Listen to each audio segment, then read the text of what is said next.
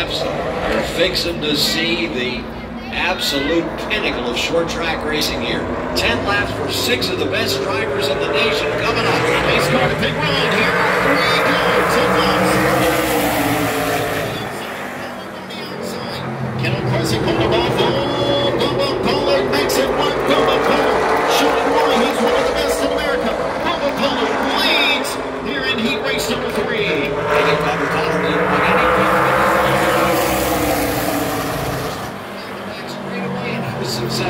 And look who powers around Conroe Crescent.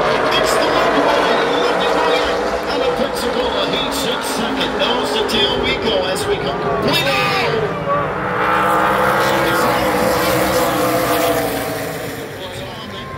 Tire problems for number I think that's. Something with the rear end, right rear. And caution is out. Yellow out. Tough break for Logan Boyette. This does not prevent him from being in the feature, but No, it doesn't. he That's will start tell deep in the field. An axle just a bait. Goes and it Gets the button and just sails out to the lead. Tell Pollard just rolled right through that restart zone. And here comes Casey Roderick as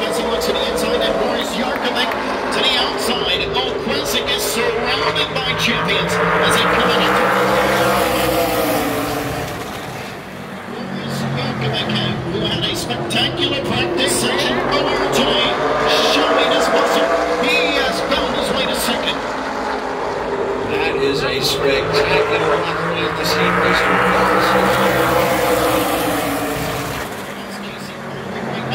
And we remember the story we told you about Giovanni Romanti. We're talking about desperation here. These guys are going to start all the way back here tonight, especially in the feature. So we're going to see something from the 18 and 81. Finding out here in race number three. Single file. And it's almost like all of them are equal. I mean, they're just equal speeds. They are just.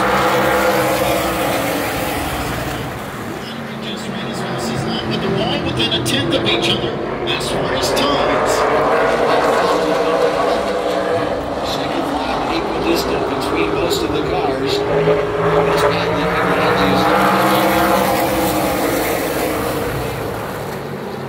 Seven laps complete in heat race number three. Bubba Pollard is pulling away with this one. Connor Okrzesik now applying pressure to the 53 of Boris Jurkovic. Can Okrzesik climb his way back to second? Jurkovic was to second spot, using the outside for every bit of what he got. Jurassic still him a couple of car lengths behind. Again, how much respect do you show here in heat race?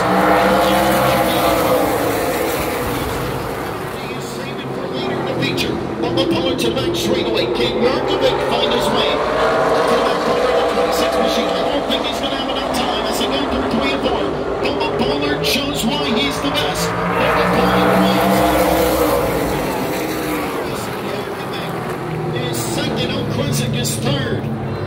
Casey Roderick fourth, and Giovanni Bromonti.